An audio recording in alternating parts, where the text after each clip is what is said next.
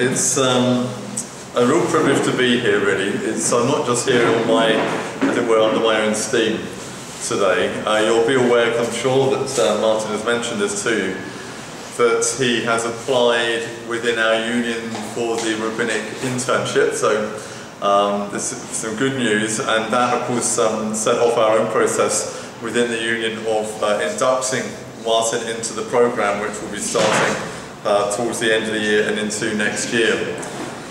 Um, being a rabbinic intern is a huge responsibility. Ah, tissues, yeah, we're going to need that. We're going to pour it all over Martin's head, so he will be anointed this morning. Um, it's a, an enormous responsibility, and we don't, within the union, just let anyone into the rabbinic intern program. So the fact that Martin has been admitted into that program um, after careful discussion with him, with the Din, um, discussion really about Martin's qualities and uh, who he is as a person and his calling, it was very obvious to us actually that this is a man who is called of God to fulfill this role. Now I know this. Oh, sorry, the din. Sorry, the Beit Din. The Beit Din is, is the court of the rabbis looks after conversions and also rabbinic uh, ordinations and so on. Um, and you know, we have to be really, really careful, not just with the conversions as to who, who is converted in that sense, but also who becomes a rabbi. Once you become a rabbi, um, you have an enormous amount of authority really within the union and within the movement to teach and preach, um, to set up your own ministries. And I know that you had your Messianic Water and Living Torah thing um, as well. So, you know, Martin's already moving in, in that direction. Uh, it also means, of course, that we will absolutely back him up in terms of the program and what he's doing here as well. Now, I've known Martin for just well, a couple of years now, three or four years, I don't know how long it is now, but long enough to know him well enough to know that he will be a really, really good rabbi. I've got no doubt about that at all. He's already been tried and tested through various issues and situations that have come and gone, and he has shown himself, proven himself to have the qualities that are needed. Now, you'd think, you're probably thinking, oh, I know the rabbi's going to talk a bit about Timothy and Titus and Peter and the qualities of leadership. I'm not, actually. You know those ones, and they're really obvious. I'm going to go for something else, just very briefly, so bear with me. It comes from Ezekiel. Ezekiel 34. And Ezekiel is describing, as he's talking to Israel, the, the qualities of bad leaders. Woe to the shepherds of Israel who feed themselves. Should not the shepherds feed the flocks? You eat the fat and clothe yourselves with the wool. You slaughter the fatlings, but you do not feed the flock.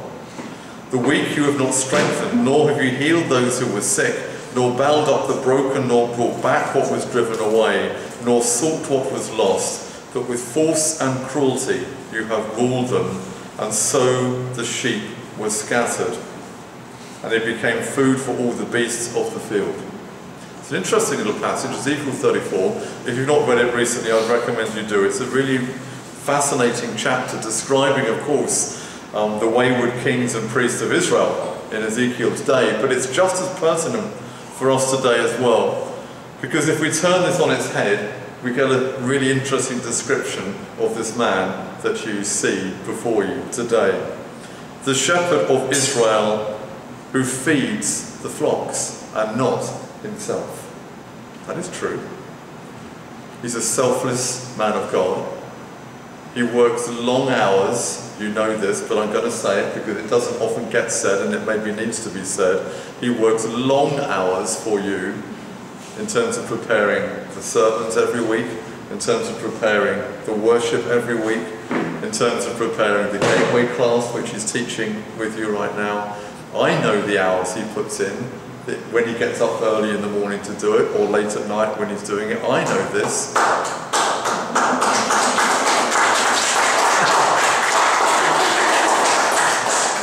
and he doesn't expect to be clapped for it. It's lovely to hear it. But, but he, I know he doesn't. But I mean, it's good for once for Martin to hear it. Because it's not often that people appreciate it in that way. Because for most people, you just think it's normal. And on one level, it is. Because it should be normal. But the good shepherds of Israel do this because they serve Adonai wholeheartedly and feed the flock and not themselves. Now, Martin is not here sinking the funds into his own wallet and bank account because he wants to be rich, like the bad shepherds. Again, we continue in all of this. He says the weak you've not strengthened, turn it on its head. The weak he has strengthened. He does. I know he does. When there's people here who have problems or issues, what does he do? He's with you, isn't he?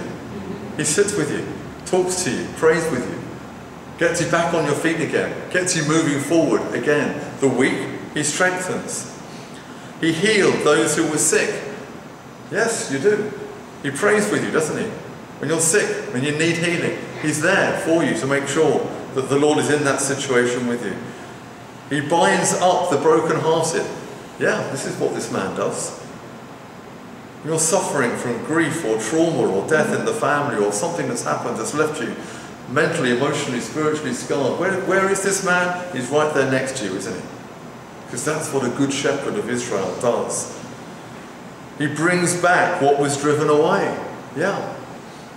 What did Yeshua teach? Then he said about, you know, going and get the one lost sheep, the 99. He puts in a corral, they're safe, and off we go. We'll go and get that one lost sheep. That is a real hallmark of spiritual, biblical, Jewish leadership. Is to actually fetch what was lost and bring it back. This is what this man does. He has a heart for that, to see everything restored in the way it should be restored. That is a rabbinic quality which you have in you, Martin.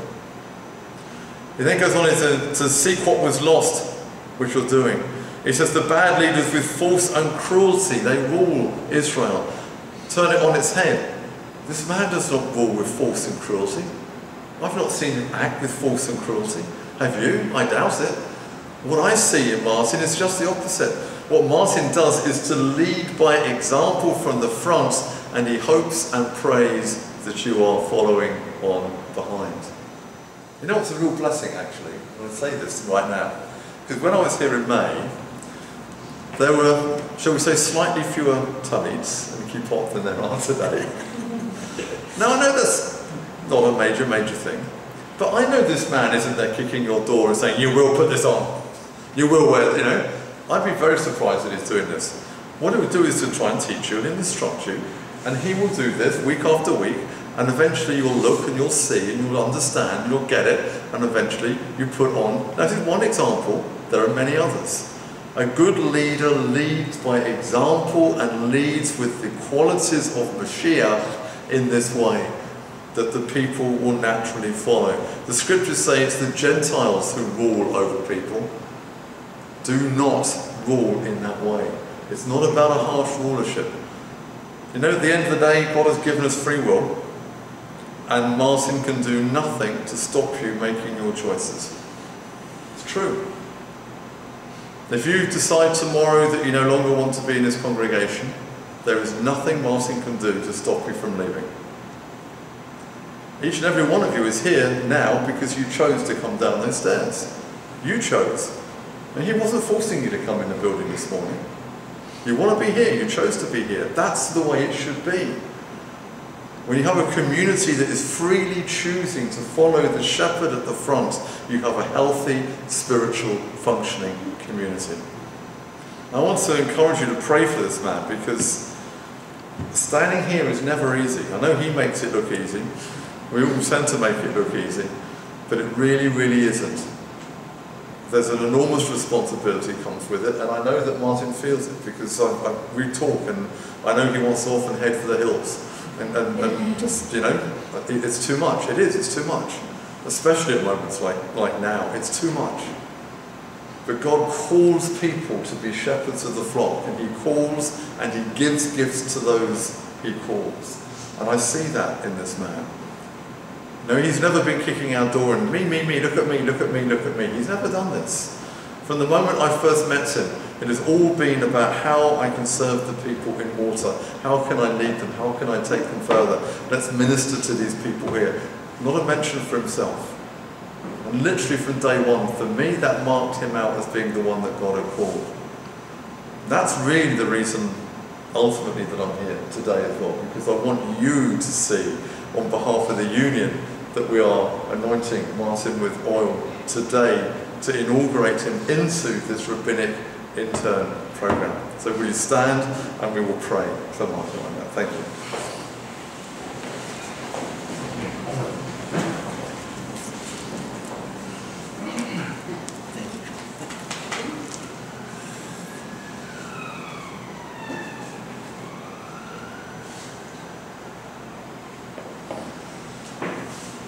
Avinu Malkeinu, Lord God, Father, we want to consecrate this man to you right now. Father, I thank you for his courage to respond to your call, to apply for this program, knowing that he felt vulnerable and weak and inadequate in the face of the qualities needed, Lord God, but still trusting in you, Lord, he stepped up and applied. And Lord, I know that I can see in him, I know that you can see in him the qualities that you're going to build into him. How you're going to help him to grow spiritually, to become this pillar and man of God that he's already becoming in this community. Lord, we anoint him right now in Yeshua Mashiach's name, that you will set him apart for this service.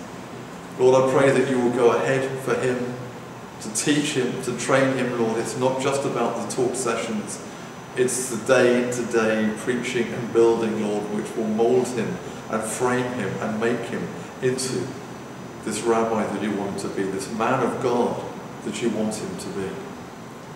Father, I know that this title doesn't mean anything to him in that way. Lord, it shouldn't mean anything to him. Lord, it's a title by name only. It's a piece of paper, Lord. What counts is the spiritual qualities you're building into this man that makes him a shepherd of Israel, that makes him that man of God called for this service.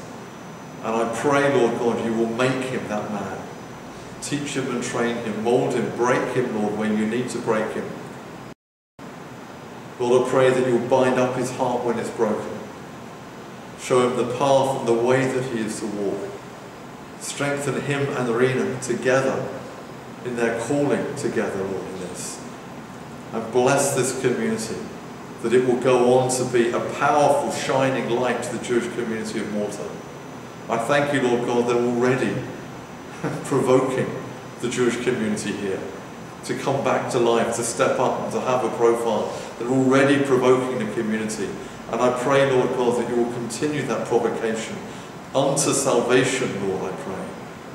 And help Martin in his weakness in his frailty as a human being, Lord, I pray that you will make up for every deficit in him with the power of your Ruach in his life.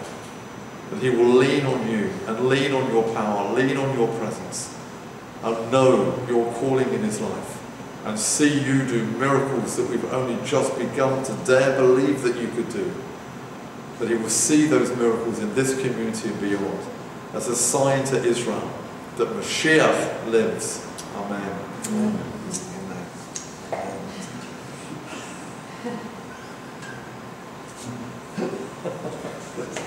Mazel tov.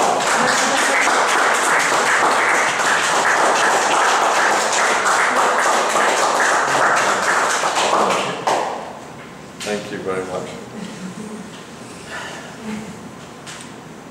Thank you all. I know you, you're behind me in, in this, and, and, and I cannot do it without your support. So, thank you. Thank you.